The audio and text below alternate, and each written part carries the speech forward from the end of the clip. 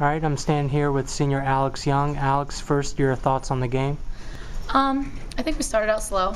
Uh, they were breaking us down guard wise, dishing it to their posts. Uh, they got a lot of a lot of shots that they wanted uh, early in the first half, and then I think we kind of switched up our defense, went to man to man, put some more pressure on their guards, um, and forced them to, to take some tough shots. So I think, I mean, defensively, that's that's what really drove us uh, the end of the, the end of the first half and through the second half.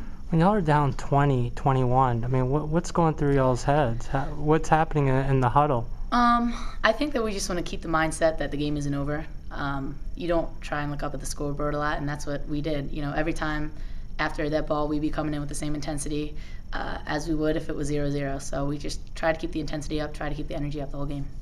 Then what does it mean uh, to rally from 21 against a Big East team? Uh, it means a lot. Uh, it means that we have a lot of resilience, and uh, there's we have big things ahead because um, to come back down 21 to a Big East team is a huge, huge thing. Not just to beat a Big East team, but to, to come down from that deficit is huge. So um, I think there's a, a lot of wins for us ahead.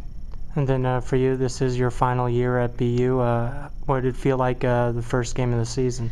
Felt great. Uh, that's one of the biggest wins that I've had here. And um, coming in, you know, you want to come into every game, you know, thinking that you're going to win. And being down by that and coming back, it just shows how much character we have. And I'm really excited to be able to play with a group of girls that that, uh, that I am. So I'm excited about the year. And then with the team's mindset, do you kind of fear that this might be too big of a high to start a season, or do you think this will really lead to better things? Um, I think it'll just propel us forward. I think uh, coming off a big win like this, I don't think we're going to let it get to our heads. We're not a team that really, you know, we're pretty level-headed. So we'll we'll be sure to enjoy the win, but you know, get back to practice Saturday and be ready for UMass on Sunday. And then finally, uh, Mo Moran, uh, she had five steals and 17 points. Uh, her, what are your thoughts on her efforts? Oh, she's great. Um, like Coach said earlier in the interviews, uh, she just does the little things that not a lot of people notice, but they're huge.